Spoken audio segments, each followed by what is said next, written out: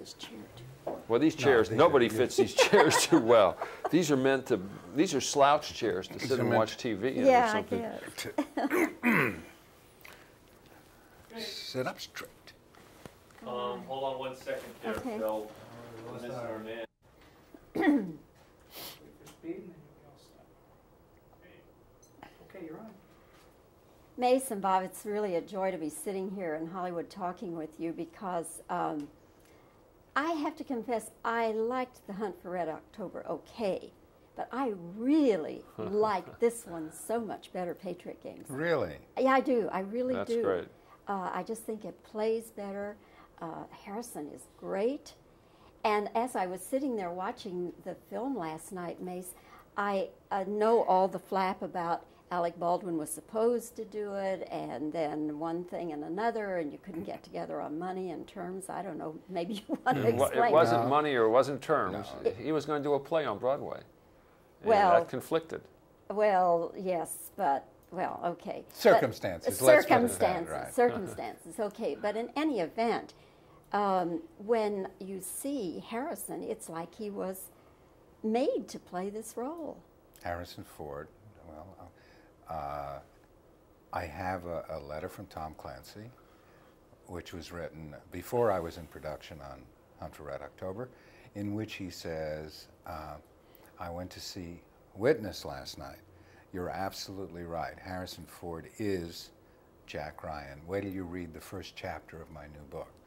So that's how long ago Harrison was the choice, and it, it looked like that would never happen. I mean, we started the series with uh, Alec Baldwin, and by dumb luck, you know, better better lucky than smart, uh, it, he was available, liked it, and wanted to do it. Then you have two more Clancy novels now. No, we, we have one, uh, we own uh, one, uh, Clear and Present Danger, which is uh, being rewritten as we speak by Donald Stewart, who wrote the drafts on both uh, Red October and Patriot Games.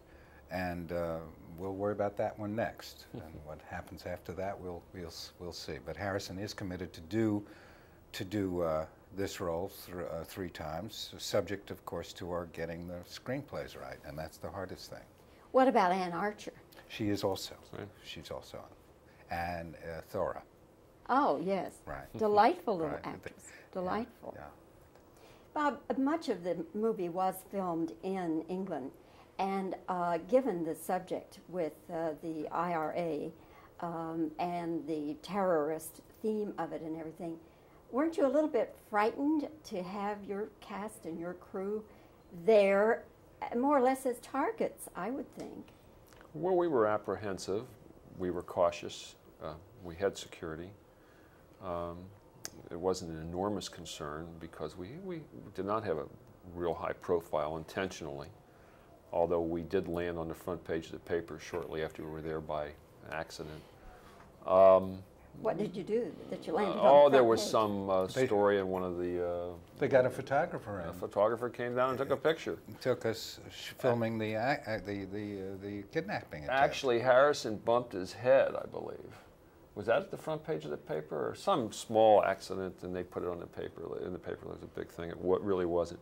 But yeah, we were apprehensive, but it was not a major concern. Although it's interesting, uh, there were events that went on, terrorist events went on right before we were there, and we were right after we were gone. There were several major terrorist events. One in the subway. We Yeah. had been filming in the subway.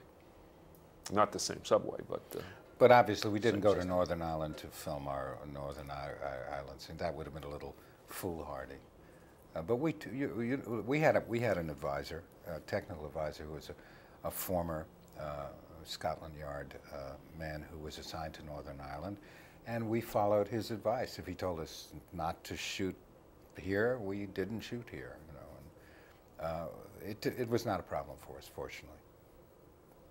Given the events in Los Angeles, the recent events, the riots, and everything, do you two people, as filmmakers, film producers, do you think that the industry is going to reevaluate violence in films? Uh, yeah, I think I think we should. I, I think we'll still the industry will continue to make violent movies, action movies. There's a um, certainly, a, I guess, a desire on the part of the public for that. We feel this movie is different than the comic strip movies that are there's so many of uh, out there. But yes, I think the industry has a moral responsibility to to take a good hard look at what they're doing. Do you think, Mace, that even the films that uh, have some violence as a basis in fact, do you think that the violence will be depicted in less graphic ways? Uh, I hope so. I hope so. I mean, we, we, we were very deliberate in our film to, to cut back on that. Uh, but uh, I, I hope so. You know, I think doing violence on film for the sake of, of, of pandering to the lowest common denominator is irresponsible. And uh, particularly, you know, now that it's all come home to us, the events of the past couple of weeks, I think I don't think it can help. I think we have to make more positive approaches to our audiences. Well, again, I thank you both for your time and congratulations on Patriot Games, and uh, I'm sure it will do quite well. Thank you. Thank you, Bobbie. Thank you very much. I really mean it about Hunt for Red October. I, it's not I,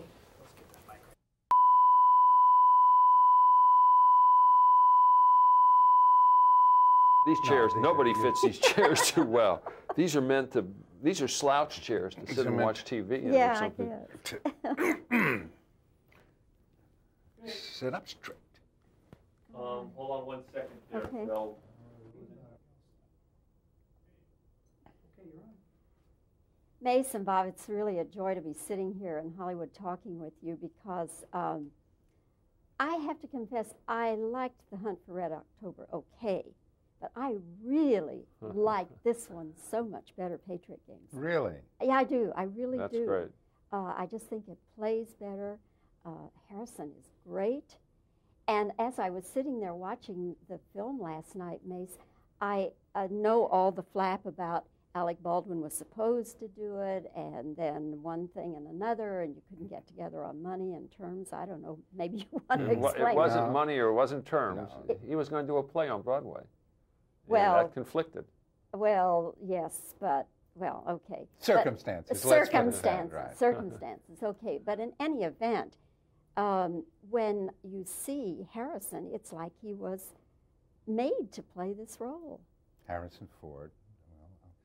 Uh, I have a, a letter from Tom Clancy, which was written before I was in production on Hunt for Red October, in which he says, uh, I went to see Witness last night. You're absolutely right. Harrison Ford is Jack Ryan. Wait till you read the first chapter of my new book.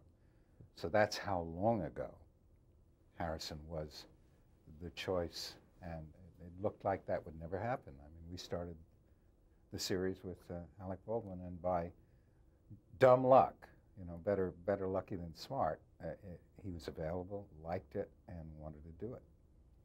Then you have two more Clancy novels now. no, we we have one. Uh, we own uh, one, uh, Clear and Present Danger, which is uh, being rewritten as we speak by Donald Stewart, who wrote the drafts on both uh, Red October and Patriot Games, and uh, we'll worry about that one next. And what happens after that, we'll we'll we'll see. But Harrison is committed to do to do uh, this role thr uh, three times, subject, of course, to our getting the screenplays right, and that's the hardest thing. what about Anne Archer? She is also. Right. She's also. And uh, Thora, Oh, yes. right. Delightful little Right. actress. Delightful. Yeah. Bob, much of the movie was filmed in England, and uh, given the subject with uh, the IRA um, and the terrorist theme of it and everything, weren't you a little bit frightened to have your cast and your crew there, more or less as targets? I would think. Well, we were apprehensive. We were cautious. Uh, we had security. Um, it wasn't an enormous concern because we, we did not have a real high profile intentionally, although we did land on the front page of the paper shortly after we were there by accident. Um, What did you do that you landed? on the oh, there was page? some uh, They- story in one of the uh, They got a photographer A photographer came down and took a picture. Took us sh- filming the uh, the the uh, the kidnapping. attempt. Actually, Harrison bumped his head, I believe. Was that at the front page of the paper or some small accident and they put it on the paper? In the paper, it was a big thing. It wa- really wasn't. But yeah, we were apprehensive, but it was not a major concern. Although it's interesting, uh, there were events that went on, terrorist events went on right before we were there, and we were right after we were gone. There were several major terrorist events. One in the subway. We Yeah. had been filming in the subway. Not the same subway, but. Uh, But obviously, we didn't go to. Northern Ireland to film our Northern Ireland scene. That would have been a little foolhardy. Uh, but we, t- you, you, we had a, we had an advisor, a technical advisor, who was a, a former uh, Scotland Yard uh, man who was assigned to Northern Ireland, and we followed his advice. If he told us not to shoot here, we didn't shoot here. You know, and, uh, it, it was not a problem for us, fortunately. Given the events in Los Angeles, the recent events, the riots, and everything, do you two people, as filmmakers, film producers, do you think that the industry is going to reevaluate violence in films? Uh, Yeah, I think I think we should. I, I think we'll still the industry will continue to make violent movies, action movies. There's a um, certainly, a, I guess, a desire on the part of the public for that. We feel this movie is different than the comic strip movies that are there's so many of out there. But yes, I think the industry has a moral responsibility to to take a good hard look at what they're doing. Do you think, Mace, that even the films that uh, have some violence as a basis in fact, do you think that the violence will be depicted in less graphic ways? Uh, I hope so. I hope so. I mean, we, we, we were very deliberate in our film to, to cut back on that. Uh, but uh, I, I hope so. You know, I think doing violence on film for the sake of, of, of pandering to the lowest common denominator is irresponsible. And uh, particularly, you know, now that it's all come home to us, the events of the past couple of weeks. I think I don't think it can help. I think we have to make more positive approaches to our audiences. Well, again, I thank you both for your time and congratulations on Patriot Games. And uh, I'm sure it will do quite well. Thank you. Thank you, Bobbie. I really mean about Hunt for Red October. I, it's not right.